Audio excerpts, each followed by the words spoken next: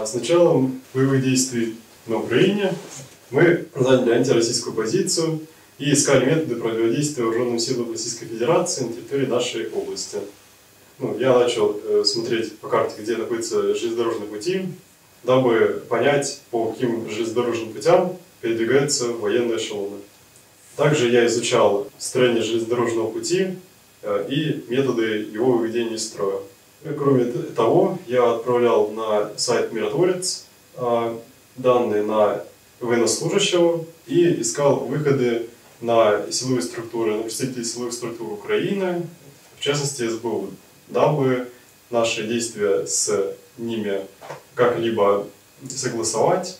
Нами было запланировано ряд акций, а именно повреждение железнодорожного полотна путем выкручивания винтов и путем ослабления крепежей. Все эти действия должны были быть преданы огласке э, путем распространения информации в интернете.